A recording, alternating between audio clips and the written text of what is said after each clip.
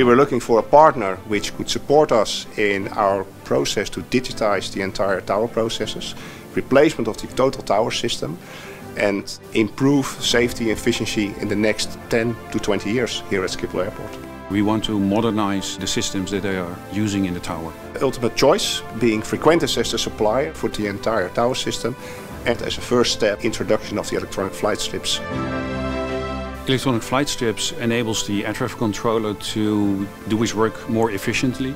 The panel behind me is my main working position to keep track on the uh, aircraft data and the electronic flight strips. With the new electronic flight strip system from Frequentis, we have access to a lot of more information and the system can do a lot of smart things with that information. We can put so much more info on our data strips when we pass it on than in the old days where you had to write down everything. One of the benefits for the controllers is that they can just use the system digitally. Improving safety, improving efficiency. And transfer strips very easily to their colleagues.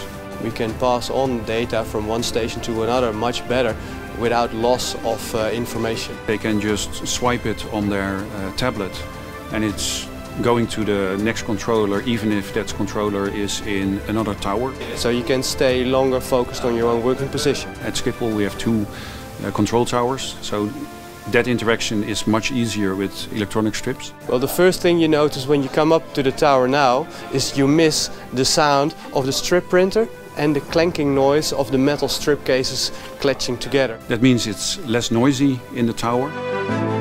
Systems like the electronic flight strip system or actually the entire tower system are systems which uh, ANSPs like LVNL will use for 10, maybe 20 years. So it's really the first step for us.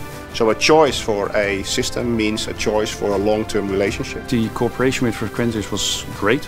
They had a very capable project team on their side, making the system uh, to the wishes of the air traffic controllers. I can just give them a call with, with questions and, and they will respond immediately.